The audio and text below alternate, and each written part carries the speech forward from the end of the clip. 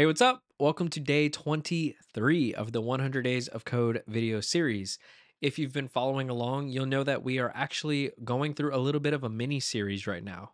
So we're on part three today, but just to catch you up to speed, part one, we built out the main UI for a photo gallery app. And part two, we added in some functionality. So you can click on an image and you can get a larger preview of that image, as well as cycle through all the rest of the images in the gallery.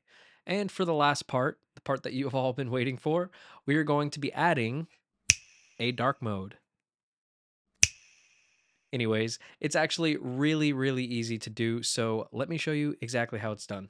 Real quick, before we get started, I just want to mention that this 100 Days of Code series is not just for me.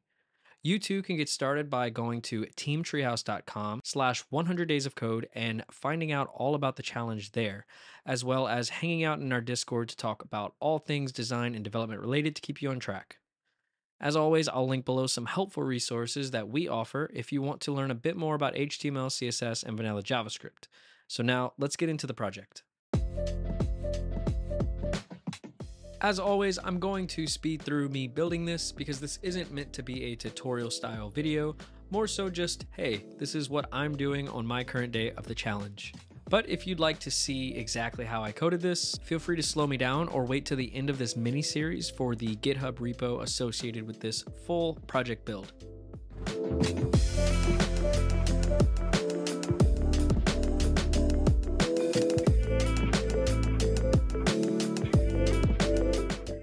All right, so I think that's it.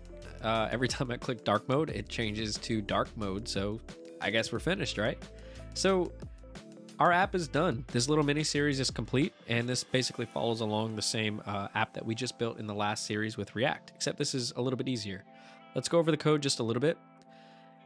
All we're doing is creating a variable for our dark mode checkbox, and then just writing a conditional statement inside of a change event. And basically we're saying if the event is checked, then add the class of dark to the body or remove it. And then the CSS, you can just see that we're setting up some basic uh, CSS variables inside of our body rule. And then when our body has a class of dark, we're basically just overriding those variables.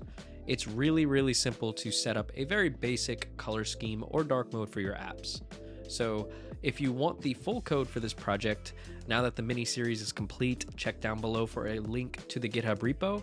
And I will see you guys in day 24 of the 100 Days of Code video series.